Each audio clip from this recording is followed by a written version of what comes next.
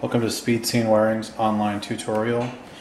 This is going to be the SSW part number 130, the 4L60E, 4L65E, and 4L80E style connector. We're going to go ahead and build this one with basic hand tools. You have your cutters, your crimpers that can be purchased on speedscenewiring.com. There's an alphabetical index for the teeth A, B, C, D, and E.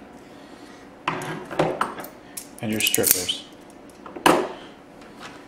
Take your 8 inch piece of wire, strip back about an eighth of an inch of insulation. Go ahead and take your terminal, part number 25, SSW part number 25. Crimp that one with E. Crimp with E go ahead and crimp this one with D and then E. And then when you're done go do a five pound pull test and place it in the E tooth position. 4L60E connector has a lock primary locking system. Just pop this up.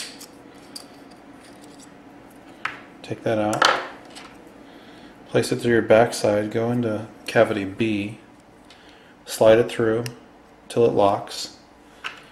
Place your locking system back on for secondary locks.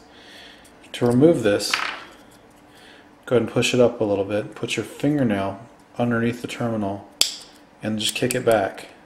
Just flick it and then kick it out. And you're done.